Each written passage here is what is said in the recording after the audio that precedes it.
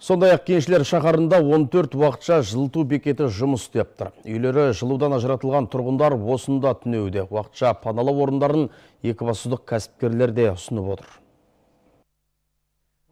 Екібастұзда 14 жылыту бекеттері жұмыс істеп тұр. Олар қаланың әр тұсында орналасқан. Көбінесе жылу желілерін жөндеуге келген басқа қаланың жұмысшылары осында түнеуге келеді. 18-ші мектептің ішінде 20 төсек бар. Қажет болса олардың санын арттыра аламыз дейді. Біз 29 күні осы жылу орталығын аштық. Осы халыққа өзіміздің микрорайондағы адамдар үшін ашылды. Қазіргі күні 20 орын осы кісілер үшін дайындалып отыр.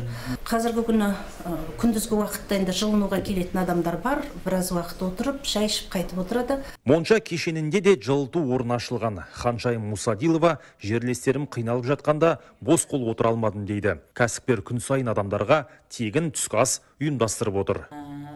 осы қалада қиын жағдай болып қалғанда біз апамыз екеуміз мариям көзекбаева қалаға көмектесейік деп бесплатный обед беретін болдық. Уже бүгін төртінші күн беріп жатырмыз адам көп кімде жылу жоқ су жоқ ә, свет жоқ. Судар түгел өздері біліп естіп статустан көріп халық келіп жатыр тамақтарын ішіп жылы жерде отырып мында кіріп отырса осында кіріп отырады. Тек қана жақсы сөзді айтып жатыр адамдар.